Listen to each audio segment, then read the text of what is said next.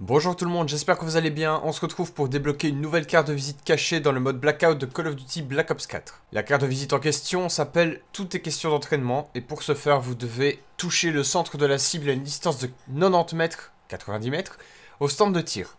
Nous allons nous rendre à peu près ici.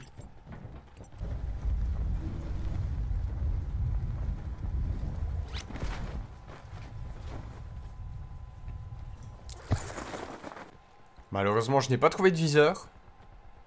Mais vous devez vous placer ici. Et viser le centre rouge des cibles. C'est tout pour cette vidéo, j'espère que ça vous aura aidé et je vous dis à très vite pour une prochaine vidéo. Salut salut